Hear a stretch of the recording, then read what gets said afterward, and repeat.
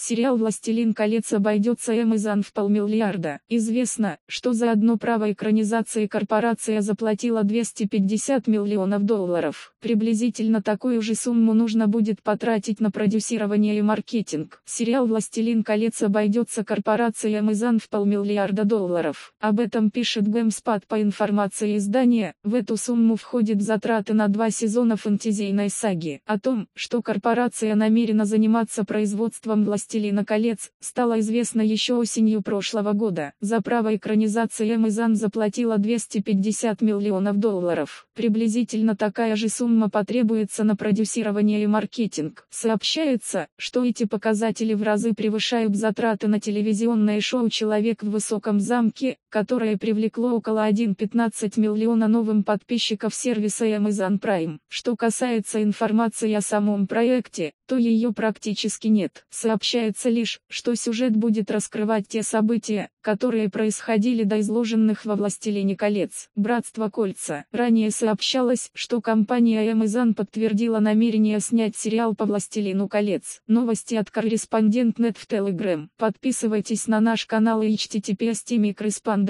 По материалам сайта Newsgro.com.